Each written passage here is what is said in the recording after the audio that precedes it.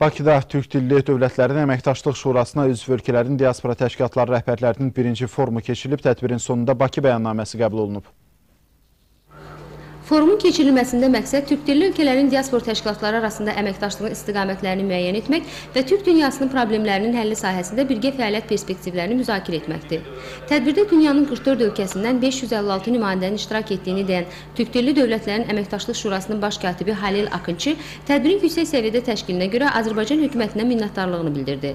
Onun sözlərinə görə Sovetlər Birliyi dağıldıqdan sonra türk dilli dövlətlər arasında əməkdaşlıq güclənməyə başladı.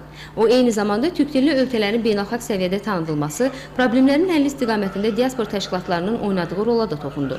Diasporla İş üzrə Dövlət Komitəsinin sədri Nazim İbrahimov ümummilli lider Heydər Əliyevin türk dilli dövlətlərin birliyinə yüksək dəyər verdiyini, Prezident İlham Əliyevin bugün bu siyasəti layiqincə davam etdirdiyini diqqətə çatdırdı. Hazırda dünyada türk diasporunun milyonlarla nümayəndəsi olduğunu qeyd edən Nazim İbrahimova görə türk xalqları arasında birliyin, həmrəyliyin möhkəmləndirilməsi qarşıda duran əsas məsələlərdən biridir.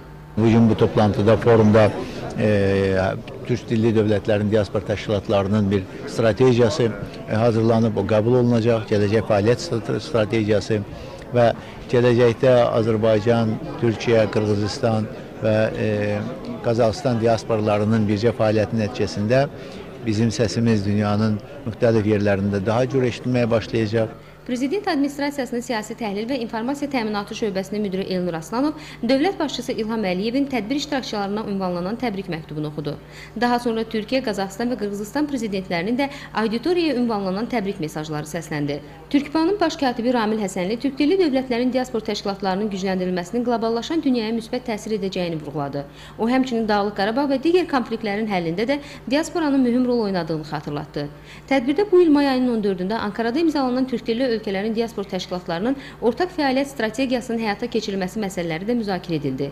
Dünyanın müxtəlif ölkələrində fəaliyyət göstərən diaspor təşkilatlarının təmsilçiləri bu forumun onların gələcək fəaliyyətində əsaslı rol oynayacağını vurğuladılar. Türk dövləti xalqlarının e, problemlərini çözən, onların qarşısına məqsəd qoyan və bu məqsədlərin e, e, getməsində, məqsədlərə doğru yönəlməsində əsas məsələlər bu günləri bu forumda mütləq öz həllini tapacaqdır və hər hansı bir deyərdim ki, problemlərin və da, təbii ki, böyük bizim böyük problemimizdən biri olan Dağlıq Qarabağ probleminin də bu gün bu forumda həlli üçün yollar axtarılması çox bir əlamətli hadisədir. Biz de Amerika'daki en büyük Türkiye e, birlik olarak e, bu işin içerisinde olmak istiyoruz. Bizim için de bir büyük mutluluk oldu burada katılmak. İnşallah önümüzdeki senelerde daha geniş katılımlarla, daha e, büyük açılımlara vesile olmasını diliyorum. Bir təşkilat rəhbəri olaraq deyə bilərəm ki, İsrail-Azərbaycan münasibətləri yüksək səviyyədədir.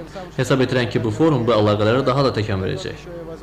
Bizim üçün də çox o, yüksək bir səviyyədə qiymətlidir belə bir görüşlər, belə bir forumlar. Ə, Onun üçün biz burada iştirak edirik və ümidik ki, bu, bu forum bizim ə, gələcəyimiz üçün, ə, irəli getməyimiz üçün ə, çox böyük bir təkan verəcək və ə, insanlarımızın inteqrasiyası üçün böyük bir təkan verəcək. Bu forumdan çox şey gözləyirik və biz artıq demək olar ki, türkdilli ölkələr Azərbaycan, Türkiyə, Qazaxstan, Qırğızstan biz ə, dost ölkələr yox, biz qardaş ölkələrik.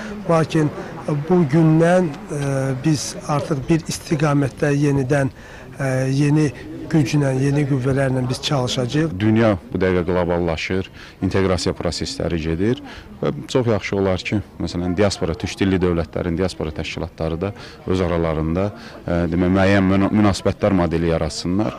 Tədbirin sonunda Bakı bəyannaməsi qəbul edildi. Almaz Mahmud Günay Bünyadzadə, Cəfər Qasımov, Zahir Dadaşov xəbərlər.